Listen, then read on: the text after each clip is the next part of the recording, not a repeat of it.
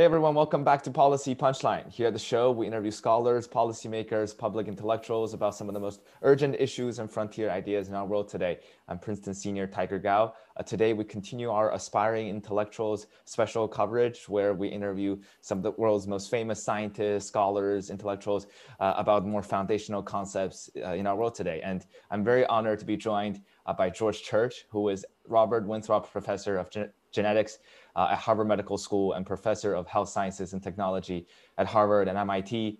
He is known as the father of synthetic biology and the CRISPR Cas9 gene editing technology, and he is widely recognized as one of the most important geneticists of our age. Uh, in 1984, he developed the first direct genomic sequencing method, which resulted in the first genome sequence. He helped initiate the Human Genome Project in 1984 and the Personal Genome Project in 2005.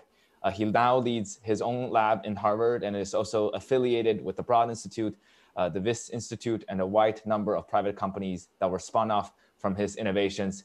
Uh, Professor Church is also director of the U.S. Department of Energy Technology Center and director of the National Institutes of Health Center of Excellence uh, in Genomic Science. And this is just a very abbreviated introduction and, and bio for Professor Church uh, because he has done uh, so many fascinating work. So Professor Church, thank you so much for joining me today. It's truly an honor.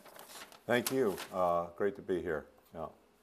Uh, so perhaps we can uh, first talk a little bit more about your early career, uh, maybe back when you were in your 20s or even younger, uh, how you stumbled upon uh, the, the, field of biology, chemistry, maths, and sciences.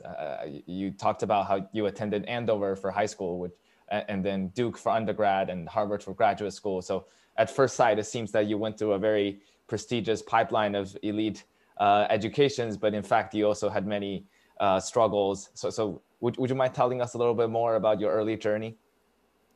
Well, I guess my first struggle, I mean, all of these are first world problems, not, not yes. complain about. Uh, but uh, my first was, you know, I was uh, born in a place with very poor uh, science education, and I didn't know any scientists or engineers uh, in Florida. Although once I did get to Andover for high school, it was like a whole opening up, and that contrast was enough that really highly motivated me. So, so maybe it was better that I was deprived and then, um, and then moved on. I had to repeat ninth grade. Uh, that's how bad my, even though I was at the top of my class in Florida, I was at the bottom of my class, uh, even after being set back a grade, uh, and it took me, uh, you know, a few months to catch up. Uh, but then, but again, I, it kind of encouraged me to try a little harder because I sort of felt like I was on probation or something, uh, and I really, I didn't feel like that was me. I didn't feel that was my identity. So that was the beginning. That was the first uh, little setback. Um, then I I decided for some reason or other after four years at Andover, I wanted to be a slightly warmer place for college, which I think is a very poor reason to pick a college. Uh, so I went to Duke. I, you know, I finished Duke in two years, which uh, which I think was also unwise. Um, but it was like financially motivated, but not not not very good logic, nevertheless. And then I proceeded to flunk out of Duke, so another uh, couple years uh, setback. Um, but then I got into Harvard by some miracle, uh, despite having flunked out of graduate school, and uh, worked with Wally Gilbert, which was obviously a very good experience. Uh, at, at Duke, though, I did, I did uh, get some, uh, to answer your question about how I got interested in biology, I uh, was interested in almost all sciences. I was particularly interested in, in, in, biology, both because of the natural environment I was in, such as the mud flats and canals of Florida, and and my third father was a physician. So those two very different angles on biology got me excited. But I was interested in computers and math and physics and so on. So when I at Duke, I was looking for a way that I could put them all together and do real research uh, right away, and uh, and that happened my, my my sophomore year, which was also my last year, where I got into Sung-Hou Kim's lab and found crystallography. And it was like it was literally like finding a religion almost. It was very, uh, quite an experience because you really needed to have all, all the sciences and math and computers to, to just keep your head above water. And I love that. So, so crystallography then led me, to, it was the only field really in, in, in um, biology and chemistry that had decent amount of automation in computers and biophysical theory. So I uh, then applied that to almost every other field of, of biology, slowly, one by one, as I did my, as I restarted my graduate career. Uh, did you really enjoy research when you were undergrad? You knew that you wanted to be a researcher? Oh, I, I loved research from, even in high school, I managed to get, uh, do independent research, both in biology and chemistry, um, where they gave me the, the keys to the chemistry lab, which I thought was pretty, pretty radical thing to do during the 60s and 70s, or, late 60s, early 70s. And uh, yeah, I did both synthesis and analysis in chemistry. Uh, and then, yeah, as soon as I hit college, I started doing um, independent research in computer science and in mycoplasma pathogens, and then finally crystallography. So, so, you did mention that your first job was studying X-ray crystallography uh, of macromolecules, which uh, uh sounds like a very uh, foreign term to, to me. I, uh, but but you did mention that it's very interdisciplinary. It would require all kinds of understanding. So, uh, was that the experience that instilled this sense of interdisciplinarity in, in you, such that in later parts of your research, you still very care a lot about this connectivity between different disciplines? Yeah, I, I, I, never did want to specialize, uh, and as as a youth, that makes some sense. You, you, know, you're not supposed to you're supposed to get a liberal arts education uh, in college. That's a that's a common theme in America. Um, but I really did. I really wanted to do to do to have something where I could justify all uh, continuing to do all of the sciences, and uh, and crystallography did that for me, and I felt that there must be, if there, if there weren't other things like that, I could make that happen. So it, it wasn't so much that it instilled it in me, it, it allowed it to uh, propagate and continue, survive, that, that feeling of, of uh, connectedness. Uh, so perhaps we can maybe talk a little bit more about uh, the time between you flunk out of graduate school and the time uh, when you started uh, the Human Genome Project, which I, I, know is a decent period of time because uh, you also spoke about how Harvard took a chance on you three times. So when you left Duke, uh, when you left your postdoc, uh, and when you lost your major source of funding, when being evaluated for tenure, and, and Harvard yeah. was there. Um, and, and, and, initially, your, your research uh, for Human Genome Project which the, the, the, human sequencing research that you were doing for it, it wasn't so popular back then and eventually it evolved into the Human Genome Project. So would you mind telling us a little bit more about that part of your journey? Yeah, I mean, we could frame it in terms of Harvard saving me three times. I mean, it's, it's maybe, uh, I mean, some of the other institutions I've been at did not feel that way. So, uh, yes, yes. You know, basically at Duke and at uh, HHMI, I sort of felt like it's one strike and you're out. You didn't even get three strikes. And, and Harvard just, just continually gives me breaks. Uh, I'm not quite sure why, but uh, uh, it's wonderful. I think, they, I think they feel secure enough in their position in time, in space, that they, they can take uh, that, that, that, it's not even a risk for them.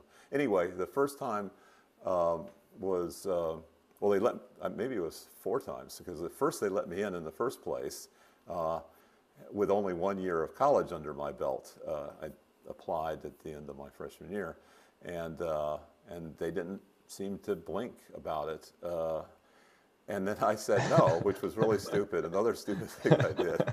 Because uh, I, want, I felt that I had some momentum in, in crystallography, which I did. and I did eventually. And, and so then so then uh, I flunked in. I worked as a technician for a year, and my advisor, Sung-Hou, said, "You know, you're not a very good technician. Uh, you're probably gonna, you probably should consider going back to school." And yeah. uh, you know, because I wasn't very obedient. I mean, I was very polite and diplomatic, but I would just, I just had uh, these all these visions, you know, and uh, so Sung-Hou liked me, and he wanted me to so I applied to graduate school. Then I did another stupid thing, which is I have only applied to one graduate school. And it, and it wasn't like a safety net graduate school, it was Harvard, uh, molecular biology, which was like their top department. And, uh, um, anyway, I got in the second time, and, and the only way I can explain that miracle, I mean, I've tried to a few times, you know, people ask me, and I say, well, I think number one was they had accepted me once before, and they figured, well, he can't be that different, really, even though he flunked out of his way. they, they never explained it, I never asked, but yeah. my rationalizations. Uh, secondly, uh, I had published five papers um, at Duke, um, which were which were pretty good in, in, in crystallography. Um, and one of the one of the computer methods that I, I developed uh, would would persist for 30 years. Uh, and one of the papers was later taught in one of my classes uh, that I didn't realize it was going to be taught. Uh, I'm just sitting in the auditorium, and there it is up on the screen. Um, so that was the second thing. Uh, oh, the third thing is they were hungry for uh, crystallographers. I mean, uh, Strominger and Wiley and Harrison and Gilbert and Ptashne, they all wanted crystallographers. Uh, and there's no way you can get a crystallographer out of undergrad. I mean, back then, undergraduates hardly did any research, much less in crystallography, which is a, which is a very long play uh, game. I mean, crystallography, you know, it's a decade. It's, it's, it's, many person years to do a crystal structure back then. And, uh, but anyway, I was, I had it. I mean, I had done, I had published in crystallography, uh, and uh, including a nucleic acid, which was, ours was the first uh, folded nucleic acid. So they, that's what they wanted. Uh, I don't know whether that came into it, but that was uh, another possibility. And there may, there may have been other reasons, but those are, I think, the reasons that I got uh, accepted the second time. Um, Did you notice that the landscape has changed a little bit uh, for, for kids these days? For example, do you get emails from undergrad, high school students these days saying, Professor Church, I, I'm from here and here, and I've been doing research. I want to work for you as a, as a freshman in college. Uh, it's more common, yes, it's more common uh, that, uh, of course, I'm seeing a bias view. There's ascertainment bias here, but, but yes, it, it seems like more undergraduates are doing research, and many of them are doing research from the freshman year, the way I did. Um, but it was, it was pretty uncommon back then. Um, uh,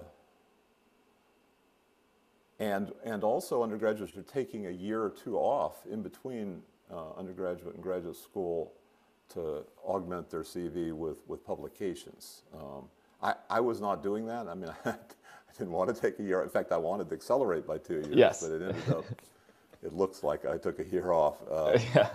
um, but anyway, so that was the first time Harvard saved me. And the second time was I'm, uh, I go to do my postdoc in San Francisco from, from, from Boston. And uh, oh, by the way, another mistake is I gave up a Harvard Junior Fellowship, which is a very prestigious fellowship, in order to go to a, you know regular um, postdoc in San Francisco. And my uh, uh, girlfriend uh, went went at the same time, and we were one was at UCSF and one was at Stanford, which is not ideal. They're not as close as you might think. Uh, yes. and uh, and then after four or five months, she decided that, that her postdoc wasn't very good and she went back to the East Coast. And at that point, I'm like, you know, I've got a three-year fellowship, uh, LSRF fellowship, and I figure I, I, should wrap it, you know, I'd like to wrap it up to, to go back to the East Coast with her. But this is, this is a daunting task to interrupt, you know, I, I, I followed her to the West Coast and I was going to follow her back to the East Coast. And I did. I wrapped it up as quickly as I could, and uh, but I had no publications for my postdoc other than sort of wrap-up publications that were the end of my PhD that were directly relevant to my PhD, but nothing, nothing on embryonic stem cells, which is what I was working on in Gail Martin's lab as a postdoc for, at this point, a few months. Um, but uh, Harvard not only accepted me with no postdoc publications, but helped get helped me get a HHMI um, investigator award, which means that, that most of my lab was paid for into the indefinite future, um, so I didn't have to write grants. Uh, nevertheless, I was encouraged to write a DOE grant because the DOE was launching the Genome Project. This is before NIH even got involved. So I did, a, I did do a grant anyway, and that was nice. And I've had that DOE grant ever, ever since, so from 18, 1987 till present, and we still have it. Um, and, and also, by the way, my girlfriend, I've now been together with her for 14, 41 years, and we have two granddaughters. So that was worth following her yes, yes. back and forth. Uh, um, so then the third time was uh, that lovely HHMI funding started getting sour. They didn't like the fact that I was uh, using computers. That every year they would redline through my budget anything, any computer. They would say, no, you're not, no, no. They would give me as many disk drives as I wanted, but I didn't, but no computer to use them on, which I thought was mildly amusing. Um, fortunately, it did have another grant, this DOE grant, and I would buy the computer on the DOE grant and the disk drives on the HHMI. And they also didn't like the fact that I was involved in multiple startup companies, um, which I felt was a necessity for getting, actually getting our, our technologies out into the world so, there, so we could share it with everybody. I felt that I needed to um, accompany them and get, get the work done. And uh, um, so, uh, for one reason or another, we, we're st still not quite clear. Um, I did not get my, I, after 11 years of HHMI funding, which is a good, good run, I was asked to leave. But timing was bad because I was up for tenure, and one of the main criteria for tenure is that you're self-sufficient. And here I did, I lost, you know, 60%, 70% of my, uh, of my funding. And uh, nevertheless, Harvard uh, did its, you know, uh, tried, and I also didn't have that many publications uh, either. I mean, I, I had a really great start at graduate school. I had five publications before I started graduate school, but by the time I got to, uh, yeah. to tenure, I didn't have many more. Uh, and, but nevertheless, they gave me, they gave me tenure, and, and they even got me $2.5 million of a philanthropic uh, gift, a, a, lovely gift from uh, Evelyn Lipper uh, and her foundation. So, who, with whom I still interact uh, now, uh, you know, over two decades later. Um, anyway, those are some of the nice things that Harvard has done for me. And, uh, and MIT has also been a kind of a co-conspirator as well. I've been, I've been there even longer. I've been at Harvard as 73. I did a, a course in quantum mechanics.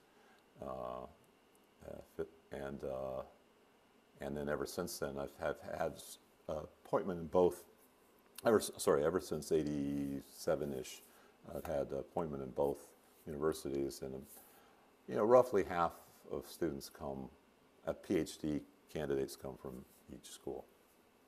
Uh, Professor Church, I feel like you're really downplaying the uh, your your early geniusness in your early career. You you were, you were saying I I, I I, I couldn't get enough publications. I was and then and then but but uh, something always worked out. But you must have been really, really good. I mean, especially how you saw human sequencing and then founding the, the, the Human Genome Project. Could you tell us a little bit uh, about how that uh, came together?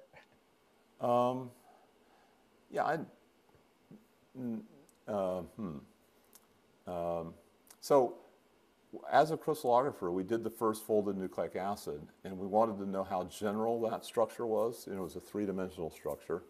Um, and it was derived from a one-dimensional structure of 76 ACs, Gs, and Us. That's 76 mer folded up into a nice little transfer RNA.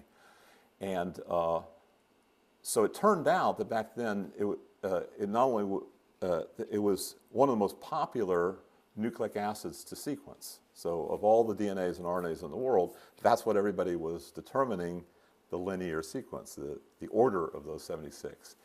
And so, so there were 100 plus of those, uh, and I typed them all in. So I essentially typed in almost all of the DNA, RNA sequence in the world uh, at that time. And it didn't take that long. It, it, would take, it would be impossible to do today to type it all in. Uh, most of them are entered automatically, and they're, uh, you know, trillions of base pairs. But back then, you could type it in in a day. And then I folded them up in the computer to, to see if they could fold up the same as the one we did. And they, they all could.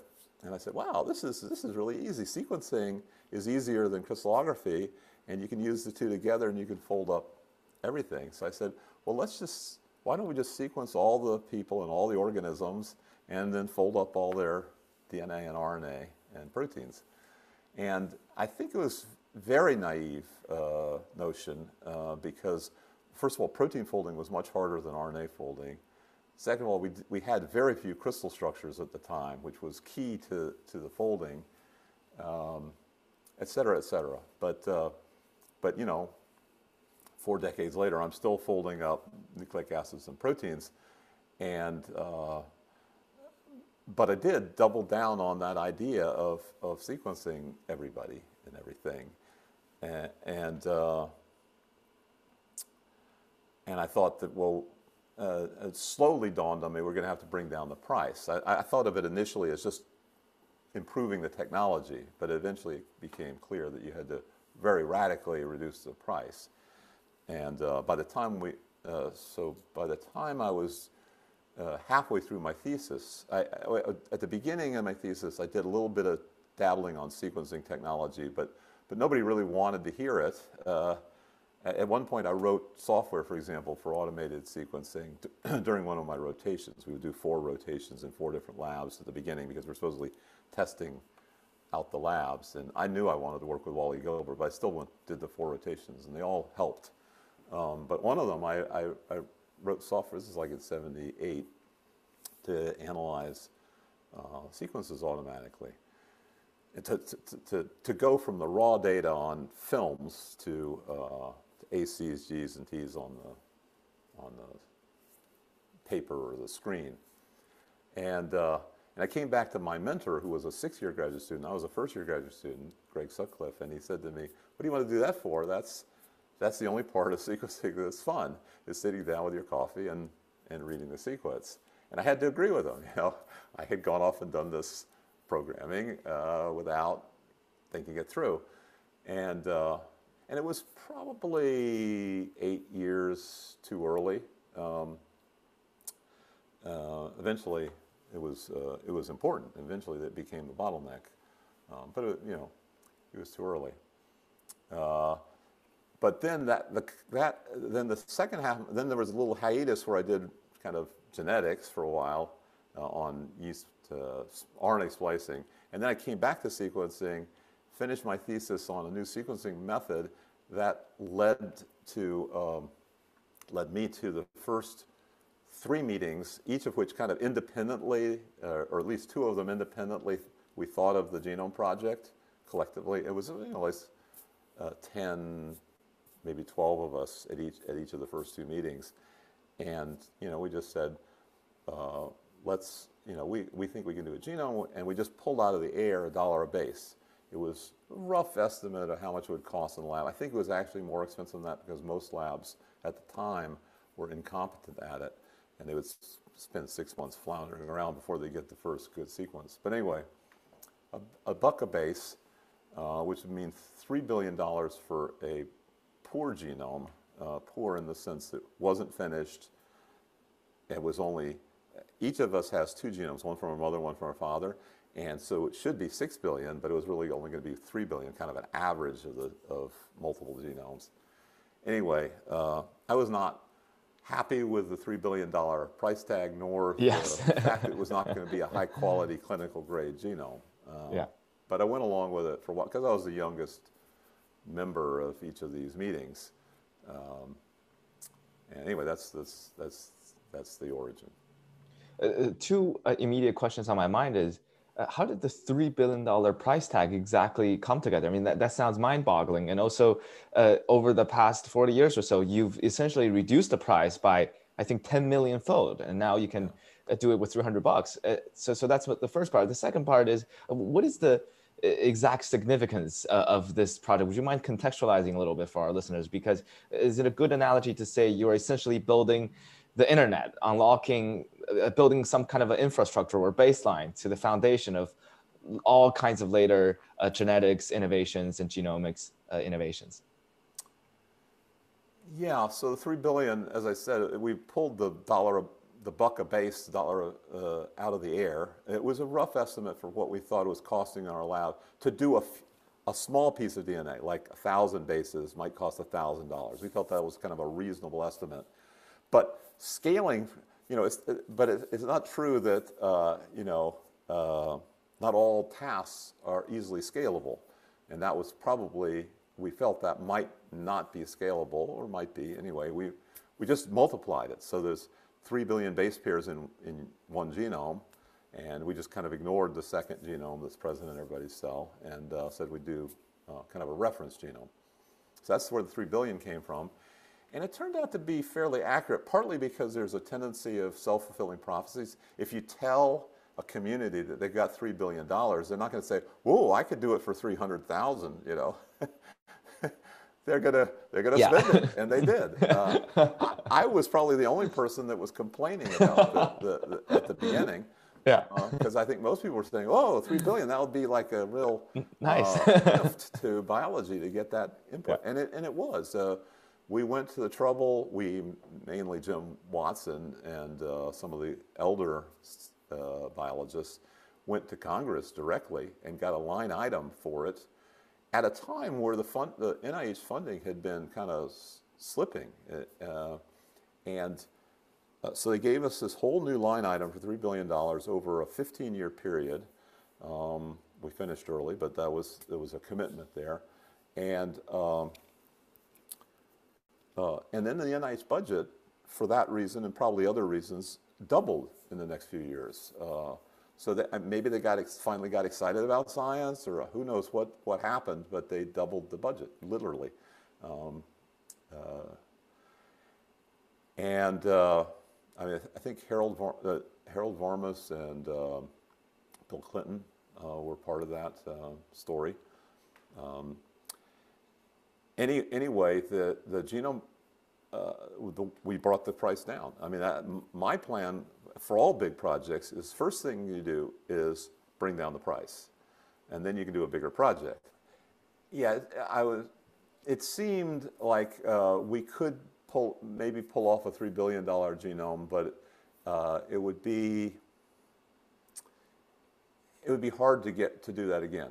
And, and we really don't, uh, the genomes are really only useful in their uh, comparisons, or that's their main utility, is you compare your genome with mine, you compare the human genome with the uh, chimpanzee, human and chimpanzee to all the other mammals, and then all the microbes. And you want genome comparison. You want a lot of genomes. Um, and that's where you learn it. And uh, which gets to your other question about the significance of this project, um, which is, and then I'll get to how we brought the price down.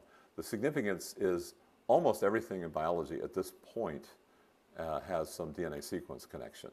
Um, if you're doing uh, ecology and conservation, then you're, you want to assess the diversity the gen genetic diversity, which you do by sequencing. You want to identify new species based on sequencing. You want to do the, the tree of life by sequencing. You, uh, uh, and if you're going to do any kind of uh, de-extinction or, or uh, uh, reduction in uh, risk of endangered species, that's all done in the context of the, the genes that you want to, to use. So all of edit, so there's a big thing about editing DNA and uh, gene therapy. All of that is based on sequencing. Um, diagnostics is increasingly both cancer, infectious disease. Um, you, you, it's really hard to develop any new uh, biotechnology without sequencing in the background. So it's, uh, I think it, it's not, as much as sequencing is appreciated, it's not appreciated that almost every other, th other thing has sequencing right behind it, you know, right in, in the back room. So um, I've been involved in both, both editing, next-gen editing and next-gen sequencing, uh, and, uh, and some of the first-gen as well. And uh, it's quite clear to me that we wouldn't be editing without sequencing. So that's the significance. How we brought the price down was um, I would say multiplexing. A lot of people think that it was parallelism, where you, you fill a room with identical devices and they all do what a human would do, you know, which is like pipetting, except now pipetting with a machine. Um, but in practice, that doesn't actually bring the price down. That just means you can do it faster, but not cheaper. Uh, you, are actually spending more money uh, per unit time and the same amount of money per output, each base pairs of sequence. Um, but multiplexing, on the other hand, you'll, uh, it's a concept that started in telecommunications where you would send multiple uh, communications through the same channel. So in the same point in space and time, you'd have many conversations, either telegraph conversations or modern video on optical fibers. But it goes back to the 1800s with Edison. That's elect electrical and electronic uh, multiplexing. Molecular multiplexing is very analogous. You basically have a drop of liquid, and a drop of liquid is kind of what we work with all day, drops of clear liquid. Um, but in now, instead of doing one experiment in one droplet, you can do a billion. Uh, so you can have a billion barcoded molecules in there, and they're all doing the same thing, so that's, so that's efficient. Um, but it's not like you have to have a billion pipetting devices. Uh, you just need one, and you get a billion times. So that so multiplexing has been one of the themes throughout my career. And it's not just for sequencing; it's for synthesis, for editing, for uh, cell biology, virology, neurobiology. All of those have a multiplex component to them. And again, this is something that happens like behind the scenes. People know even less about multiplexing than they know about sequencing. They're using it, but it's just like they take it so for granted. It's wonderful. I mean, it means, it means you arrived when the stuff that you worked on is, is so taken for granted you don't even notice it. Um, so, you know, it's like when you do you know, Google Maps. You don't even think about, most people don't think about the, the technology of launching and maintaining the GPS satellites um, and, the, and the atomic clocks that, that those satellites use to get the precision they need. Right? very few people worry about you know whether the cesium clocks are working today, uh, you know, for the GPS. Anyway, I, I, uh, I, multiplexing helped bring the price down, and it's now down 10 million, maybe 30 million fold. Um, it'll probably be $100 per per high quality. Now these are high quality clinical grade genomes, meaning they're uh, both your both your parents. Uh, and at, at a uh, error rate that's uh, 10 to the minus seventh or so, one error in 10 million.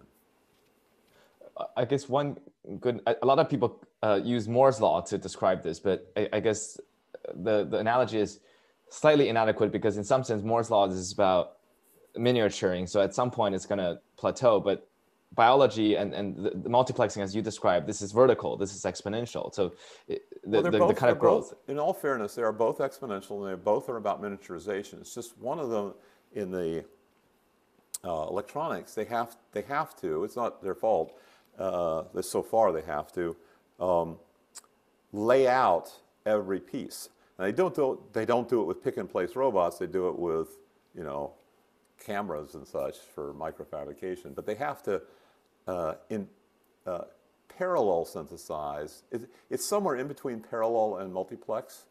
Um, and it, uh, they both scale down to sort of the nanometer scale. The biochemicals, however, will scale uh, to a precision of fractional nanometers, while electronics is kind of stuck at, you know, single digit nanometers. Um, but the real problem is that in order to get a wafer with billions of circuit elements on it is a multi-billion dollar fabrication organization. Uh, but to make trillions, quadrillions, quintillions of uh, biomolecules is basically free. I mean, it's, it's, it's all due to self-assembly, and it can be a very messy system. I mean, just, you know, look at how, just look at, uh, you know, birth of an animal. Uh, is, it's, it's, very, it's amazing that, uh, that you get kind of consistent results over and over without any uh, manager running the QC uh, system. So, uh, so we're taking advantage of self-assembly. In a way, it was a gift. It, it, there's certain analogies between biology and engineering. Uh, the, the, evolution is trial and error. A lot of engineering is trial and error. Uh, there are some analogies, but it's a gift. It was like we were given uh, things that look like engineered things all the way from the molecular level all the way up to materials and, and you know, trees, and uh, uh, you name it. Uh, we have atomically precise technology that came from what's uh, from evolution, and we can and we're harvesting that. We're essentially going around the world sequencing, and when we sequence, we find things like CRISPR just sitting there in our DNA sequences, and we don't really. It takes us a while to figure out what it does, but it's it's like a gift. Uh, it's like a you know a space uh, lander landed you know yeah. uh, in our backyard, full of great stuff, but just no instruction manuals. Yeah. I, I, so before we go to CRISPR, which you just brought up, perhaps we can also quickly touch on per, the Personal Genome Project, which uh, you, you, helped found in 2005, 21 years after the, the Human Genome Project. Uh, that also pioneered a new form of genomics research because the main goal of the project, as described, is to allow scientists to connect human genetic information from DNA sequence to gene expression with human trait information like medical information, uh, physical traits, and also those environmental exposure. So it has tremendous value when it comes to uh, me- medical uses. Uh, uh so would you mind telling us a little bit more uh, about the Personal Genome Project? Well, the Personal Genome Project was um, intended to be a kind of a demonstration, uh, pro- provocation, a very gentle, um, not too much in your face provocation, because at the time there was a lot of, and there still is, a lot of silos where people hoard their data. There's a lot of uh, miscommunication with, where people would would uh, abuse their patients, where they would they wouldn't fully inform them. They would tell them stories that weren't true, like oh, we can protect your data. We, you know, we can keep your data private, even though at that same time there were millions of medical records that were uh, had escaped or had been stolen. So it was a so we wanted them at least to refine their language to be more forthright. Um, I mean, they tended to be honest, but they would by you know by legally couching everything uh, very carefully. And forthrightness is different from that. It's it's making sure that people know uh, what the risks are. And then and then there was also this barrier where uh, people who were advocates, you know, had a disease in their family, their complaint was not privacy. It was that they couldn't get their data shared among the, the scientists. Um, so it was a patient advocacy uh, thing as well. Uh, there was also a demonstration how quickly you could get technology into uh, a clinical setting. Um, there, there, was a number of things that was intended to, to, demonstrate, or at least, yeah, demonstrate at once. Um, and uh, I was, um, so we, we re-examined the consenting mechanism. Um, and uh, a number of other, th- we questioned almost everything, um, and uh, ended up with something that was surprisingly successful. It's now incorporated in uh, six different countries with very different uh, ethics boards, very different systems, um, but they all approved it, uh, showing this a general uh, protocol whereby basically we recruit people who are okay with, generally enthusiastic about sharing their uh, medical records and, um, and DNA sequence.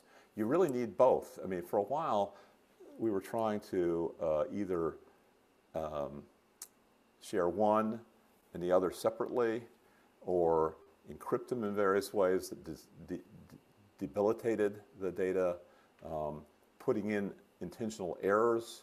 Uh, uh, that, that's actually come up multiple times as a solution. Uh, it's, a, it's sort of uh, antithetical to most science. And it was very ironic that, that one of the most open sciences in history of science, which was the Genome Project, um, led to one of the most closed sciences, which was the, the um, personal, you know, the, the connection for each person of their uh, uh, genome and phenome, their traits. Uh, so we so we just showed that it could be done. So a lot of people said, "Oh, it can't be done. You won't get people to agree to that. You won't get, uh, you know, uh, you know, bad things will happen. People it, it, people will see their own genome. That was another thing. They they would uh, read your genome and then claim they they couldn't do anything about it. they couldn't give it to you. They, they, they, our hands are tied, you know. And, and if they even saw something that could save your life, they couldn't communicate it to you because A, you were supposed to be de-identified, and B, even if you weren't de-identified, um, you know, they, they didn't have permission to, and we just shared the data with you and figured um, that, that we would um, make sure at the beginning of the project that you had gone through a, a, an exam that showed that you knew what you were getting into and you weren't going to react, you at least understood that you shouldn't react uh, negatively until you had confirmed the diagnosis by, by conventional means. Anyway, it was radical, and, but it did make its point, and many of the studies around the world have taken steps in that direction. They still haven't gone all the way um, to full sharing, um, but they are much more forthright in their uh, agreements and in their consent forms. They, uh, they, they do give the data back to the individual, which was a radical concept at the beginning. Uh, there are a number of things that they've adopted that are, I think, uh, um, much better now. Um, and the Personal Genome Project will continue to go. It's kind of like a ratchet.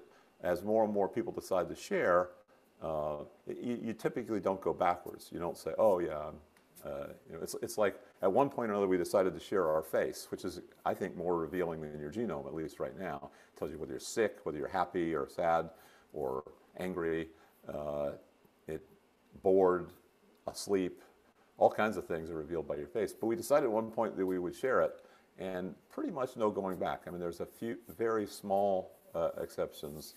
Um, um, you know, uh, yeah. masks, for example, in the yeah. days of COVID. but but uh, for the most part, we, we prefer to share our faces at this point. And I think that may be true for uh, it, the need for privacy is a symptom, not so much a goal. Uh, it, or it can be thought of as a symptom rather than goal. What it means is there's some consequences of sharing information that could save your life. Um, there's some negative consequences. Yes. Uh, and so what we should do is fix those negative consequences rather than not share. I mean, I see. One way of looking at it.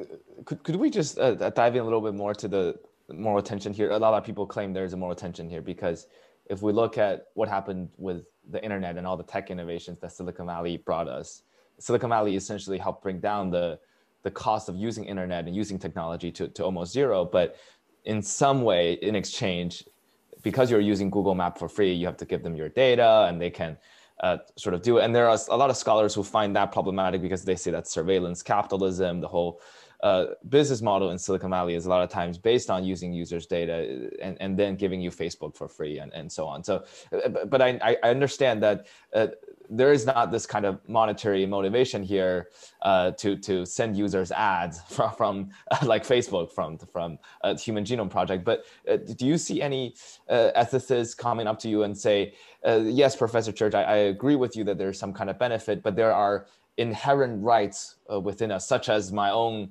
data that, that I just do not want to that should not be shared with other people and, and so on. So, so do you do you see that? Well, I I mean I have a number of friends yeah. that are ethicists, and, and I, I, I, teach a course in ethics, and I've published uh, you know a couple dozen papers uh, on ethics, safety, uh, policy related things. Um, you know, I, I, first of all, I, I uh, was I am concerned about any new technology or any new innovation, social innovation like social networks or uh, sharing data. These are social innovations. Um, I think the important thing is to not coerce, and coercion goes beyond, you know, twisting somebody's arm or even offering them money. There are various ways you can set up a, a uh, social norm implicit. Which which yeah which, where basically so many people are doing it yeah. that's that's a form of coercion. So you have to be very careful about that. Uh, occasionally there will be coercion that is good. So for example uh, coercion for public health measures you know uh, washing your hands uh, before you serve food. That's co- there's coercion on that. There's uh, or taking vaccines to provide herd immunity. Um, So a little coercion sometimes is the right thing, but you need to think about it very carefully what the unintended consequences are. Uh, I can I can think of negative scenarios where your genome could be used against you, but we should think about those. So some of my colleagues don't like it when scientists get criticized, say in, in movies, you know, Frankenstein or uh, you know Jurassic Park or something like that. But I think it's good. I think we need to we need to have that scenario building, the negative scenario building, and think two or three or chess moves ahead uh, as to how to prevent that. Um, so uh, one of the things we did to prevent that it was the Genetic Information Non-Discrimination Act of 2008. It's not perfect, but it does uh, help send the message to health care providers, health insurers, and employers to not discriminate based on genetics alone. Now, they're still allowed to discriminate based on you know real problems, which may also be a problem. But in any case, it was a, a huge step in the right direction.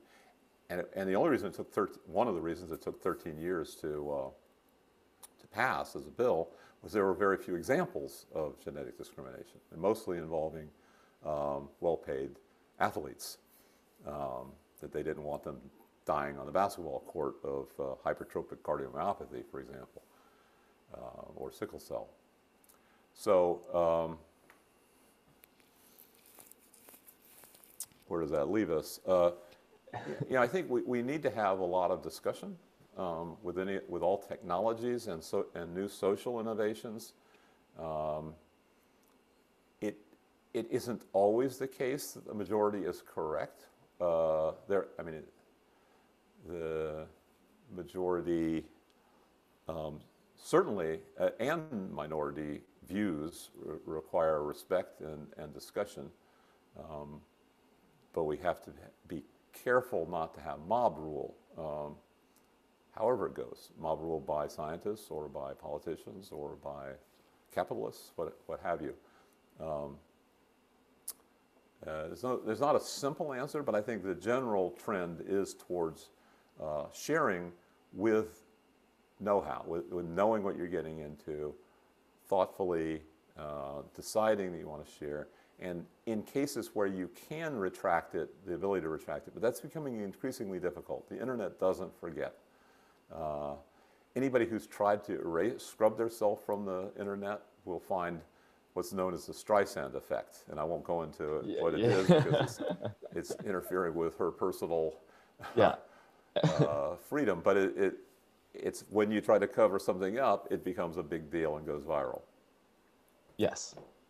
You mentioned something very interesting, which is that people are already kind of starting to do this, and it's almost we're kind of on this inevitable train.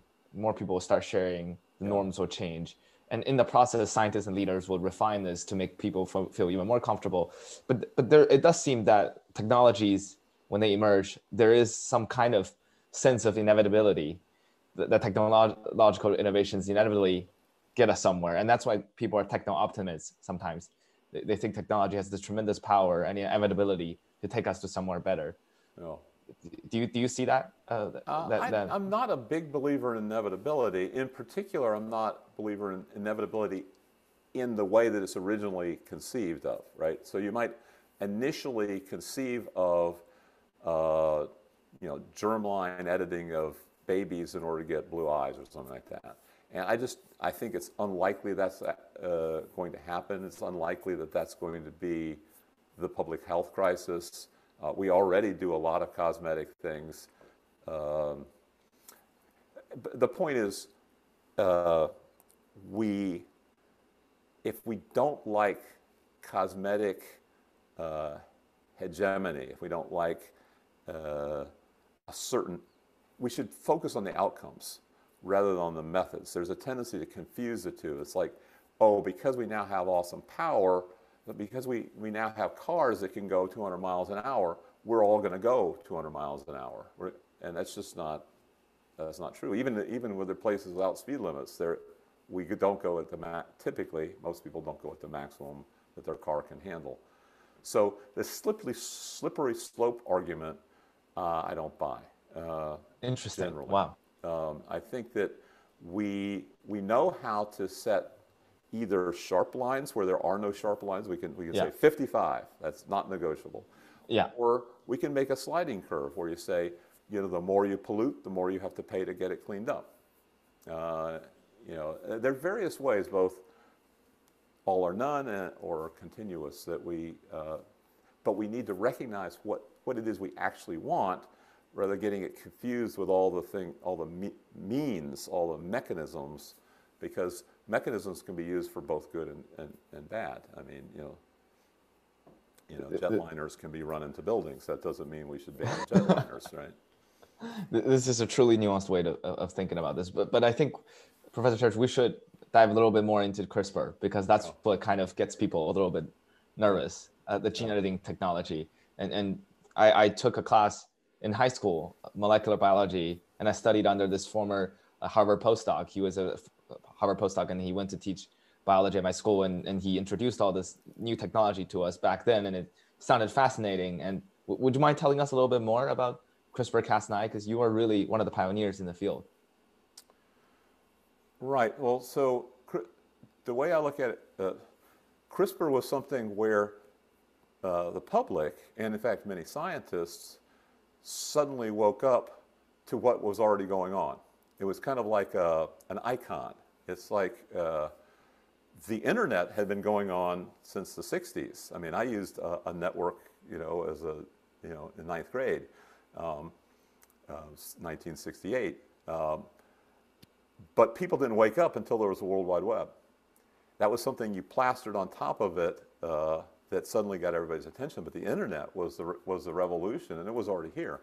Uh, same thing with CRISPR is we already had a gene editing revolution. In fact, two people got uh, a Nobel Prize for it uh, La- back last in the year. 80s. Uh, Or, oh, back in the 80s, yes. yeah, for um, uh, Mario Capecchi and Oliver Smithies.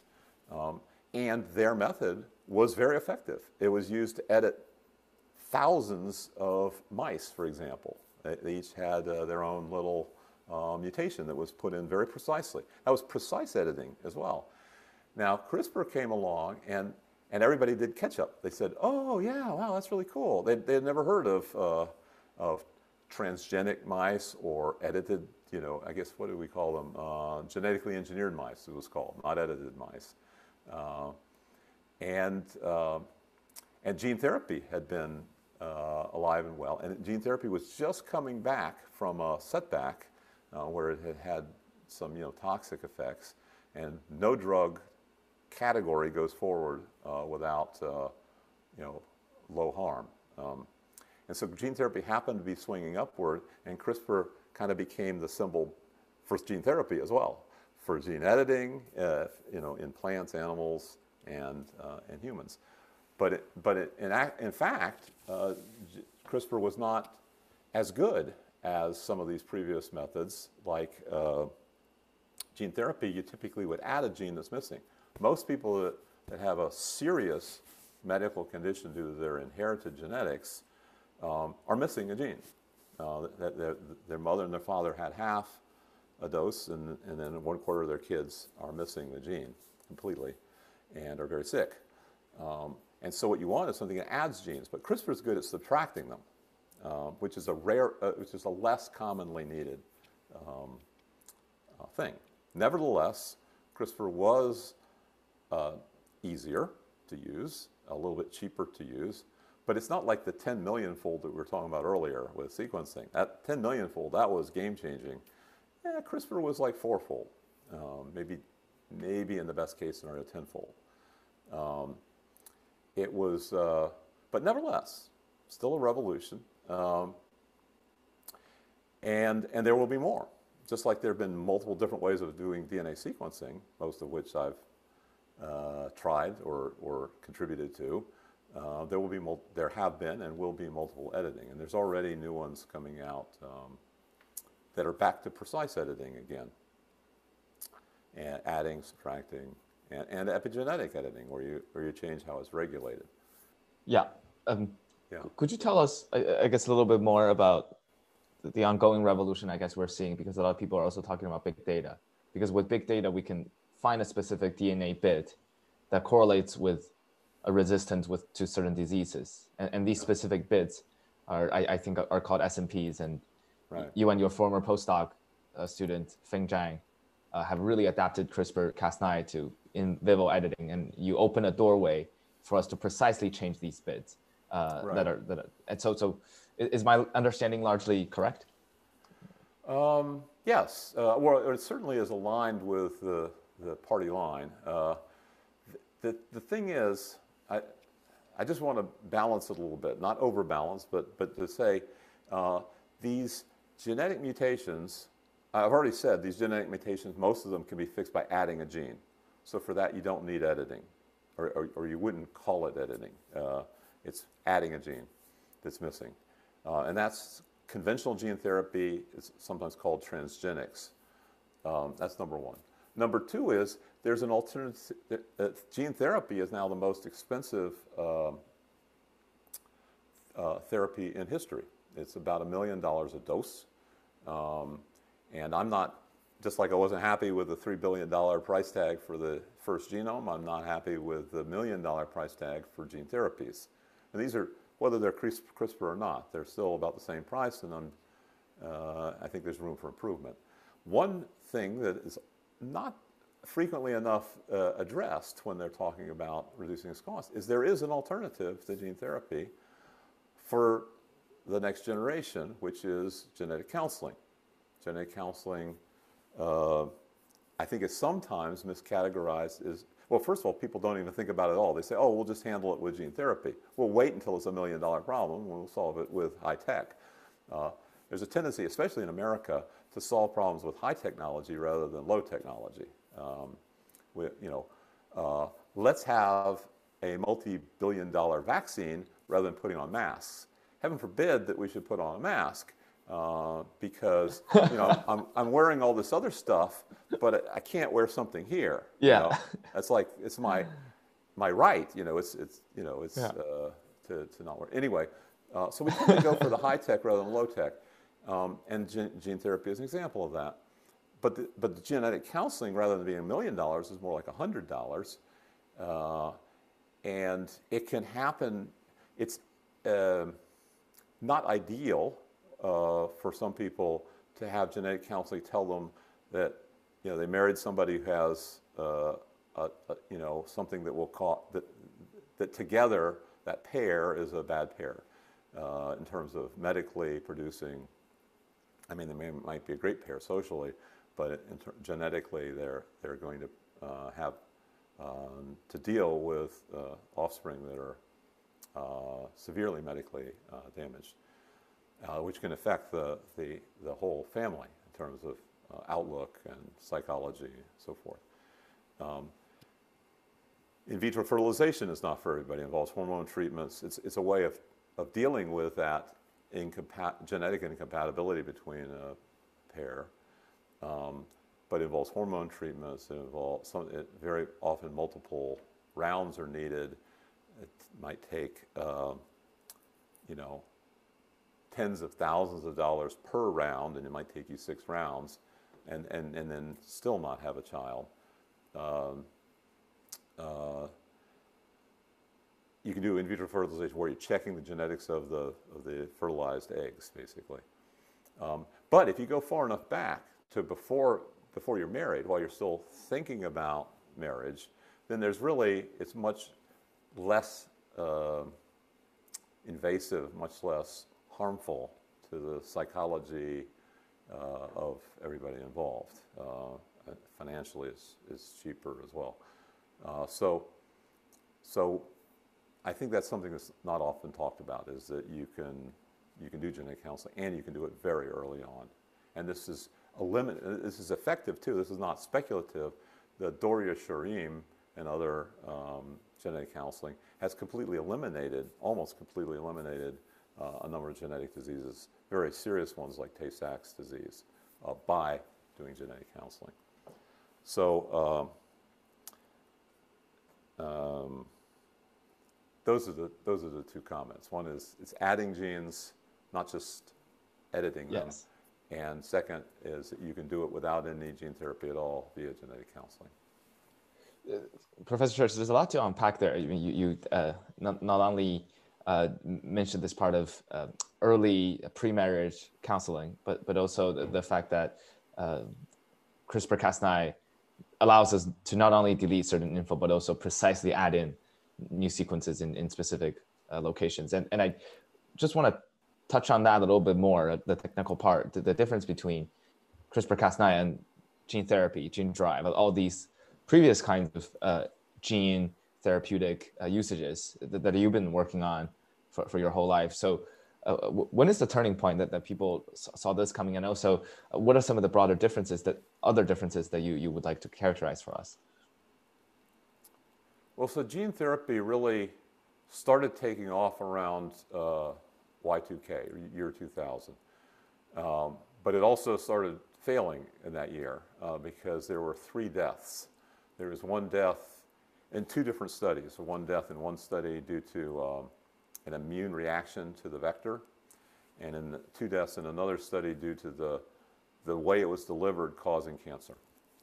Um, since then, we've developed better vectors that don't have the immune res uh, response and don't, have, don't cause cancer at any appreciable frequency.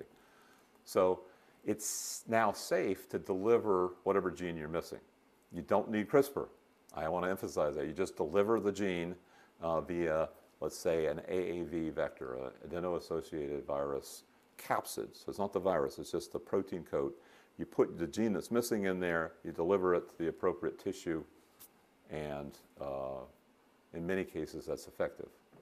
Um, it's especially effective if the product of that uh, payload, that gene, it diffuses or is spread throughout the body or spread locally. So, so you don't have to get it to every cell, you just get it to a few cells and then they act as factories that work for the rest of your life. And this has an advantage over other therapies and it's kind of once in your lifetime sort of thing, once and done. Uh, it still is a million dollars and we need to bring that price down. Um, or, as much as possible, uh, reduce the need for it uh, by genetic counseling. So some combination of bringing the price of, of the therapies down and bringing the number of therapies that you need to do down. And then the product of those two, uh, it will be better for the healthcare system. Another thing I wanted to ask you about, Professor Church, is this idea of off-target effect. Yeah. So, so one of the main concerns about CRISPR, despite all the vastly improved accuracy compared to previous gene editing technology, is this idea of off-target effects. Could you explain a little bit to us and the, the kind of hurdles we still need to overcome on well, that first front? of all, it's not clear that CRISPR is more accurate than previous methods. I mean, uh, for example, putting in a gene that's missing, that's usually pretty accurate. Uh, even editing uh, for the, you know, the Smithies and Capecchi editing was quite accurate, uh, more accurate than CRISPR. CRISPR, it makes both on-target and off-target errors. So anyway, I just want to put that out there. Um, again, I, I've enjoyed, I've benefited tremendously from the attention that CRISPR has gotten. Um, but I just think it's, it's my responsibility as a beneficiary to, to explain uh, in a, a well-rounded way. Um, but off target, I think even though CRISPR may not be better at off target, uh, it is so good that it's not, it's barely worth thinking about. Uh, in our very first paper um, on CRISPR, we did discuss the, we were the only ones talking about off target for CRISPR, and we wrote a program that would check the whole genome. So it, there's a tendency to focus on the target, right? But uh, our program looked at the, at the genome for what, what might be close by. But you also have to do it empirically. It's not just a theoretical computer exercise. You have to test because there's surprises uh, where it doesn't do exactly what the computer would predict. But the computer is a good pre-screen. Uh, but it's so low, it's kind of a, uh, the, the well-designed ones, the well-tested ones, the ones that make it through, uh, are lower than spontaneous mutation rate. And again, not everybody is aware, uh, or maybe they know it, but they don't think about it every day, is that you're being bombarded by uh, chemicals and radiation all day and you're getting lots of mutations. Um, and so is your germline, your, your future children. Um, when you take cancer chemotherapy, that's something where you intention, you know, the physician intentionally is giving something that's known uh, mutagen in many cases. Uh, so anyway, it's well below that spontaneous level that, um, in, in the cases that have been where you've gone through the process of refinement of the on-target and off-target efficiencies. Uh, uh, one slightly philosophical question, uh, I guess also touching on our previous discussion when, when you were talking about Silicon Valley and social innovations, is, is um, this idea that a lot of times people feel uncomfortable uh, accepting uh, CRISPR-Cas9 or, or gene editing or gene therapy in general is because they feel like part of what's core of being a human, this, there's kind of physical editing uh, of their nature. Even though socially we're very malleable, uh, our, society looks vastly different from uh, what we will be in, in, in 100 years than what we were even 10 years ago. And um, there are all kinds of other evolutionary um, uh, processes that happen. But could you help us pinpoint that tension a little bit more and, and why you think somehow is this fear irrational or, or could, could it be resolved that, that people are much more open uh, to, to this idea of, of, accepting gene therapy, gene editing for, for their children, for later generations, uh, in order to achieve some kind of social welfare uh, improvement? For example, having fewer children die, fewer uh, diseases. I don't think it's irrational. I think it's uh, quite rational to be um, fearful of new technologies. I encourage that, not I don't try to sugarcoat it. Um, in fact, I think many people who re represent themselves as rationalists uh, are rationalizing their own uh, affiliations, uh, their own addictions um, to the future. Um, that said, uh, I think that we need, again, to focus on the outcomes rather than on the methods. Uh, so we uh, change ourselves and our next generation without the next generation's approval um, because they're infants. Um, and we do it in ways that are heritable, that, that, that year after year, uh, sorry, generation after generation, it is transmitted um, without much uh, modification in a, in, a, in a, kind of evolutionary pattern with slow changes. So, for example, our educational system, most of our religions, most of the way we dress, our customs, our foods, those are surely inherited from generation to generation, and we can change them. A, a single family can make a dramatic shift. Um, sometimes in the process of a migration, they'll just decide to change their customs. And then that sticks, again, for generations. Um, so, uh, you know, this thing is, is a new artifact that is highly heritable. Um, you know, my daughter has one just like this, and her daughters will, uh, you know, are already in transition to that. And to, to say that genetics is less reversible, for example, is, I think, naive. I mean, you can, if you can go one way, you can go the other. Um, I think the cell phone is, is quite irreversible. Try to pry this loose from anybody. Yes. You know, try to. A politician that banned cell phones yes. would not last long. Um, yeah. so, so really, uh, we should focus on the things like equitable distribution, right? Smallpox is, a, is an example of equitable distribution. One of the few technologies that really has been distributed, you know, clean water, roads, cheap electronics, almost there, but not really fully equitably distributed to everybody. Smallpox, because it's extinct, nobody has to pay a penny to maintain that, that uh, public health positive. Um, we need to, that's part of the ethical uh, dilemma, is making sure that everybody gets access and that they're well informed, that they know that they want access. Just because they have access doesn't mean they necessarily uh, want it. Um, you know, many of these things are individual specific, but they impact other families when our children meet their children, you know. So the fact that we made our decision can also affect the other family um, because of the, the constant mixing, which is uh, quite healthy. Uh, so anyway, we have, again, just like the talk, things we talked about before, we have to have lots of discussions but the discussions don't necessarily mean that we're going to take a vote at the end, because uh, the majority is not always correct, um, and it needs to respect the minority. just having the 51% um, make the 49% miserable is not, uh, is not what we're aiming for.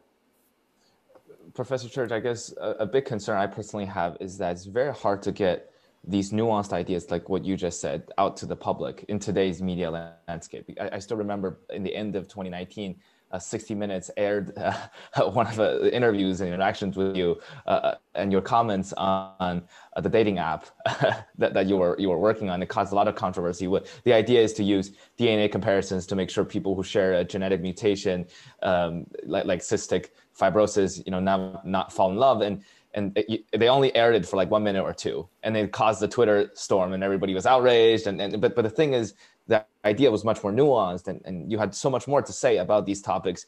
But today's media land, landscape, whether it's social media or legacy media, it seems that they have to reduce all the brilliant ideas into two minute clickbaits or, or, or sound bites uh, so that it's very hard, it seems, for scientists like you, nuanced thinkers, to actually convince the public this is our thinking. We're struggling through this and we're, this, we're reasoning through this. Listen to us. So, are you optimistic about how the public will gradually change their perceptions to some of those technologies, especially in this age of uh, misinformation uh, and, and, and so on? Well, I, I, mean, I think in defense of 60 Minutes, well, first of all, it's not 60 minutes, it's more like 15. Yeah. Uh, of, of, which, of which one minute was on this subject, which I think neither they nor I were, were uh, properly prepared for. Uh, yes.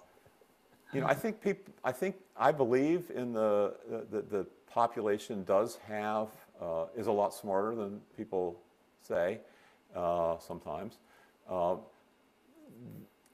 but smart people can do dumb things. And, uh, and part of, or, or can, they can do something that the rest of the population doesn't respect. It doesn't mean that it's dumb. Um, and it's because they're playing a different game. You know, it's, it's some kind of game theory is going on, and you don't respect their game, or they're playing your game not by your rules, or you know, et cetera.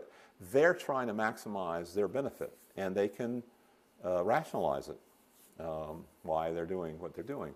To them, the, the, the risk of uh, COVID is lower than the risk of, um, you know, having trouble with your mask or having uh, not being able to see what people are saying. Uh, and it's hard to calculate these things, genuinely. I, I feel very strongly on the math side, but I can't really prove it. I wouldn't.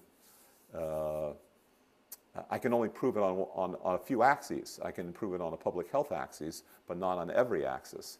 Uh, and I think that's what happens is people just assume that everybody has the same motivations as the majority have. Um, uh, so that's, that's one thing. I, the nuances, they become less nuanced when it really matters, you know. So let's say the theory of evolution doesn't really matter to most people. It doesn't, it doesn't affect your life whether dinosaurs were 6,000 years ago or 60 million years ago. It, it really doesn't help you pay your bills or you know train your children to be good moral citizens. Yeah.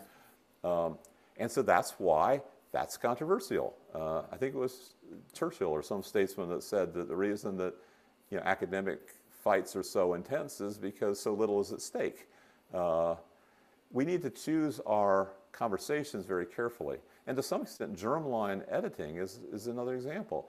There's really almost no use case for it. There's almost no clinical justification. And so it's much ado about nothing. It's a tempest in a teapot. Uh, uh, a very intense tempest, but you, you, it's hard to get somebody to describe, even, even the case where somebody went to prison in China with, you know, three young uh, uh, ch children uh, were edited, uh, relative to other new therapies, it wasn't that much of a tempest. I mean, they're all three of them are still alive as far as we know, healthy as far as we know, right? Which was not the case, um, you know, for the initial trials of monoclonal antibodies, the initial trials of gene therapy, and so forth. Um,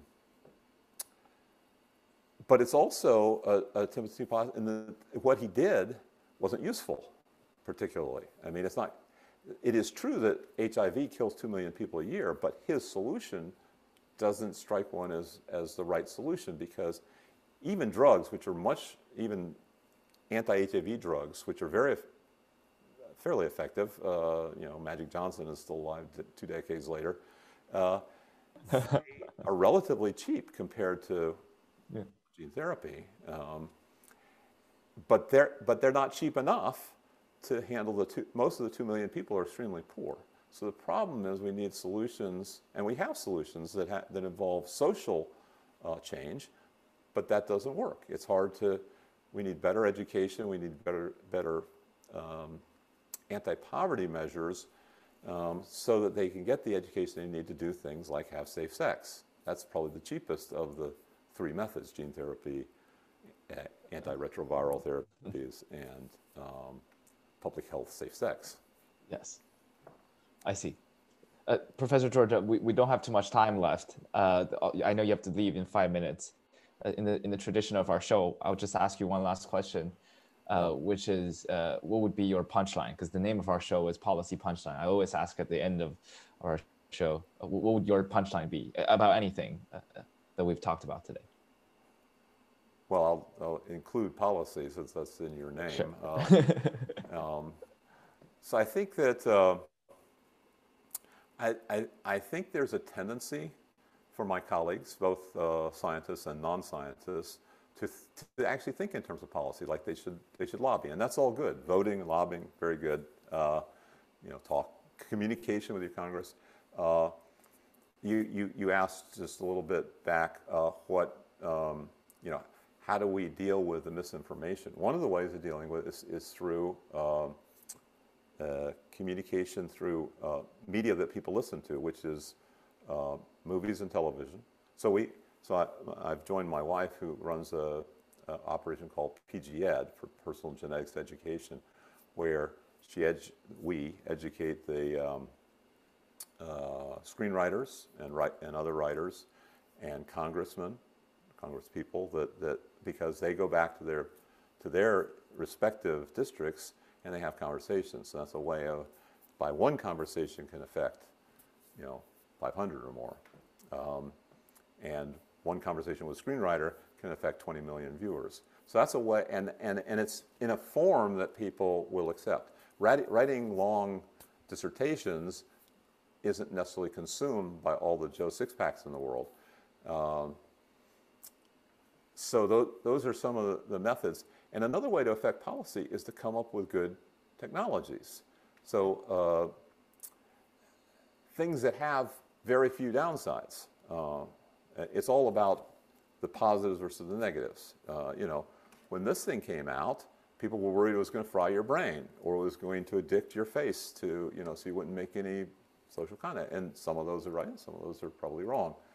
Um, but make good technology. You know, you don't need to pass a law to get everybody one of these things. Uh, you don't need to have uh, medical provider, insurance providers to compensate you, to, uh, to pay for your cell phone. You're going to go out and pay for it yourself.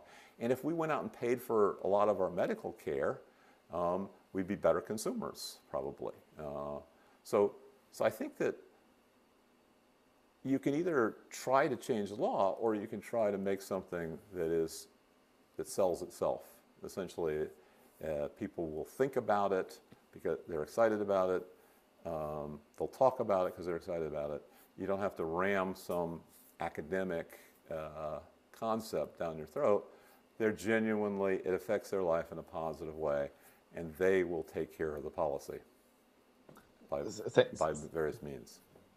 Professor Church, thank you so much for joining me today. I, I as I told you, uh, to prepare for this interview, uh, we drafted around like 55 questions, and, and we probably got through a, a, third of them. So, so uh, it's just. I think you were going to say we got through 75. I would have uh, really loved to, to ask you a little bit more uh, other wild philosophical questions, ethical questions, and also uh, synthetic biology, some of your other thoughts on the healthcare sector, private sector, your private sector experience and innovations. But, but we don't have enough time this time. But well, so, so, perhaps people, another people opportunity. like this one, they'll let you know, and we'll think about uh, yes a sequel. Okay. a sequel. Uh, Professor Church, thank you so much for joining me. I hope you're you're doing well with your family and, and everything's staying safe. Yeah, everything's fine. Th- thank you, Tiger. Uh, stay well. Awesome. Of course. See you soon.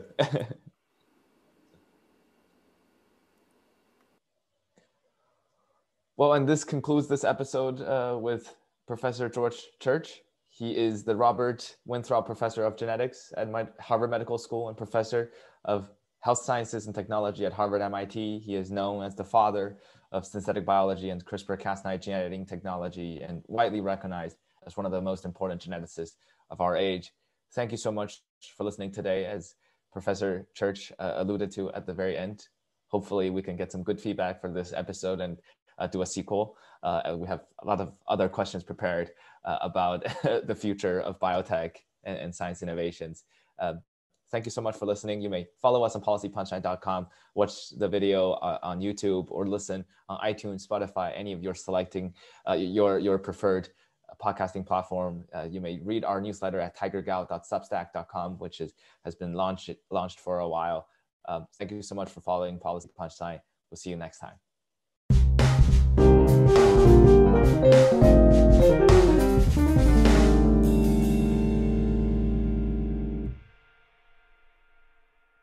You've been listening to Policy Punchline, a podcast generously supported by the Julis Rabinowitz Center for Public Policy and Finance at Princeton University. We would also like to encourage you to follow other podcasts produced by Princeton University, such as Politics and Polls by the Woodrow Wilson School of Public and International Affairs.